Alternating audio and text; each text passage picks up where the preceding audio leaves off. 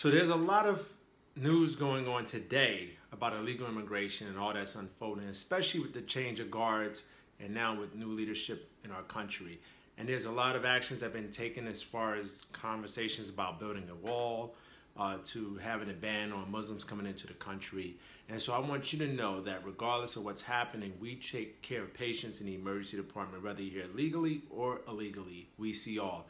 And I see hundreds of uh, patients a year that's here illegally. And I know they're here illegally because they're a little bit shy, a little reserved. They are not forthcoming with information. They readily don't have ID or they don't have an address or a job for that matter. So I know that they're here illegally just because of a lot of their mannerisms and behavior.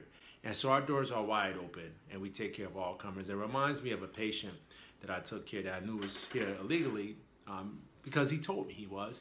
And so he came in, he worked for the circus. He was assaulted, he was attacked the night before and robbed, unfortunately. And his, he was struck in the face and his nose was deformed. It was twisted and blood was gushing out. And he came in and he made it a point to me to say that he had to hurry up to to get treated because he had to make his way back to the circus because the show was leaving and going to another state. So I took his nose and I snapped it back into place. And I told him he most likely would need surgery, but that would help to stabilize until he was seen and treated at another state.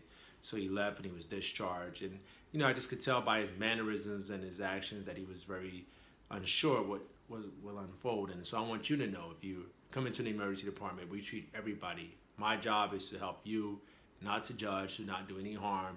And I'm not in the position of reporting anybody as far as their citizenship is concerned. We treat everyone, regardless of your status as a citizen or not a citizen.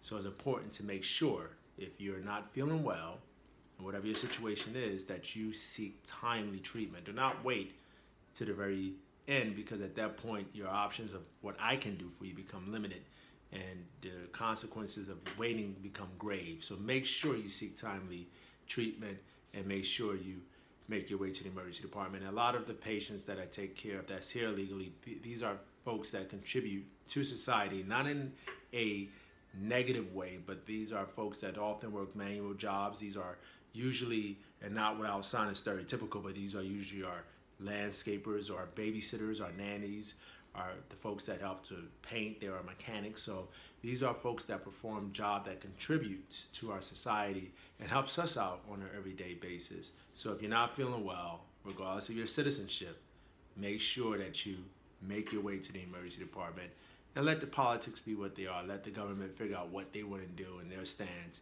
and let me do what I do in the emergency department, which is take care of you.